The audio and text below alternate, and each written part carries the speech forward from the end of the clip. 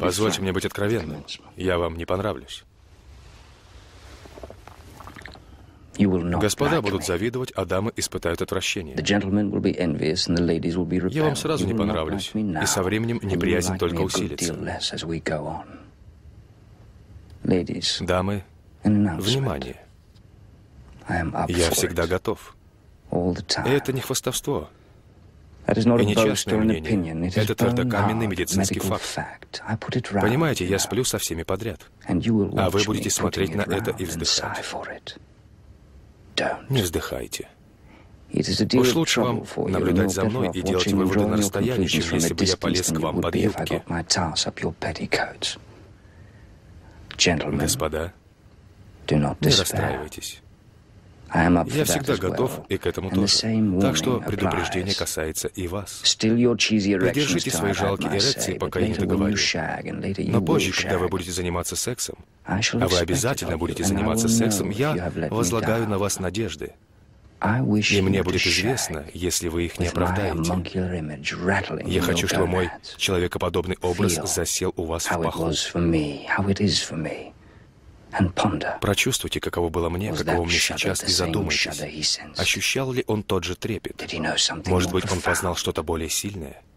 Или мы все бьемся головой о стену в этот сияющий триумфальный миг? Все. Вот и весь мой пролог. Никаких стихов, никаких заверений в благопристойности. Надеюсь, вы этого и не ждали. Я Джон Уилмут, второй граф Рочестер, и я не желаю вам понравиться. Вот он лежит. Наконец-то. Человек, уверовавший на смертном одре.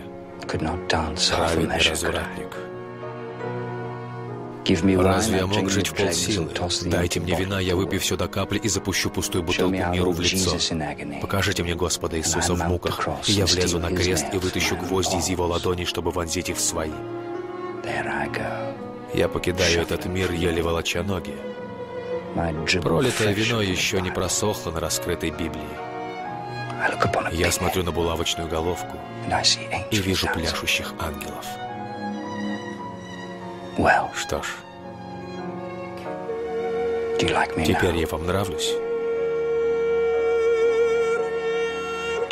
Теперь я вам нравлюсь?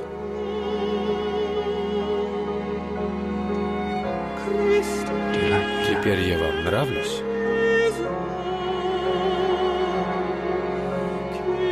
Теперь